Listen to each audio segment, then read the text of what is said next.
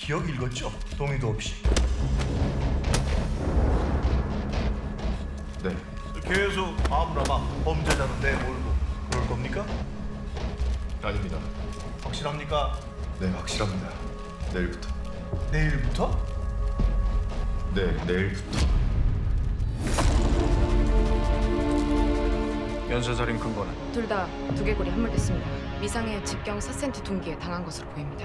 수차례. 서울청 강수대 가동해. 오늘 아침에 세 번째 피해자가 발견됐어. 숨이 붙어 있는 채로. 다른 피해자 뭐 봤어요? 망치 한 손에 잡히는 장돌이 같은. 용의자는 신분을 완전히 감춘 자. 현 시간부로 모든 가용 인력은 오나리 수색에 전면 투입한다. 대법원장 별장 포함해서 80군데 다 쑤시고 다니겠다고. 목숨이 걸렸습니다. 초능력 형사가 그래서 제 추론입니다. 갑자기 스캔?